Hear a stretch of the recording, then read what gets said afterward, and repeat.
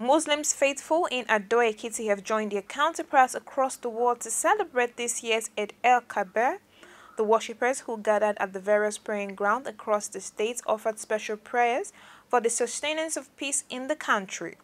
The chief missioner of Ahmadiyya urged Muslims to imbibe the lessons of sacrifice and submission to the will of Allah. Lesson for Eid al-Kabir, Eid al-Adha are so many total submission to the will of Allah, obedience to the commandment of Allah, and to be generous to human being in general, to fulfill our promise to human being and to Almighty Allah.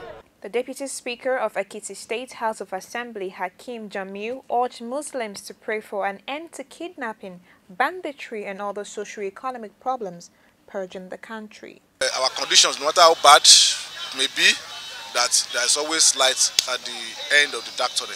So that's why that's what we say to them. We have to be pious. We have to we have to. It's not it's not about merry making alone. We, we have to we have to be sober, and, and we have to pray for continued peace in the country. And uh, we pray for we pray that God will help us solve the problem of insecurity in the country.